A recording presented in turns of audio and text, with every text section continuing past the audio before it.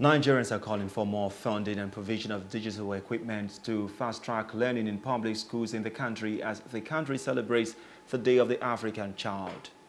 A non-governmental organization project Hope Alive donated learning materials to Model Primary School at Sokoro in the Federal Capital Territory, Abuja. As Nigeria joins the rest of Africa to celebrate Day of the African Child, Stakeholders are calling on the federal government to adequately fund and equip public schools in the country with modern learning equipment, including computers. They blame the government for the drop in the standard of education in public schools due to neglect, which have forced privileged Nigerians to abandon public schools for private ones public primary schools are in a dilapidated uh, condition and the learning condition has also been challenging. So uh, also in the like the theme of this year uh, uh, suggests the right of the child in a digital environment. Coupled with all the natural issues the children are facing, we are also being faced with the issue of digital poverty. If you look at the, the, the African children and the schools, a lot of them are not digital compliant. So as the world is moving even to the AI era, Nigeria is even yet to cope with traditional technology system to support education. So we are using the Day of the African Child to highlight these issues and acknowledge the fact that the right of the child is a fundamental right that every stakeholder must work hard to support and promote. We want all the uh, wives of governors and the of the president to adopt child-friendly pet projects under this new dispensation because we believe we don't have the institutional framework that promotes, that specifically rather focuses on promoting and protecting children. We also want a situation where we're able to balance the uh, risk of technology and the advantage of technology for children.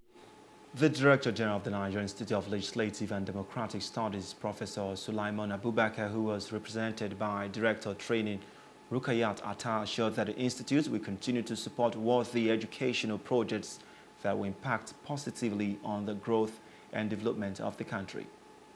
The event featured cultural dances from six geopolitical regions of the country and debate amongst the pupils on the advantages in digital education for the country. Donations of digital education equipment as learning materials, which includes exercise books, pencils, pens, and toiletries, were donated to the school. The theme of this year's event is Rights of the Child in the Digital Environment.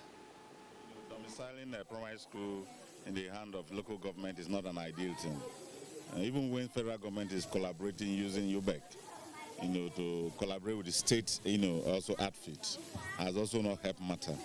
You know, I think the federal government should take, you know, uh, control in terms of highly funding it, you know, specifically, you know, without channeling money to any agencies that will take part of those money to do issues of uh, administrative purposes.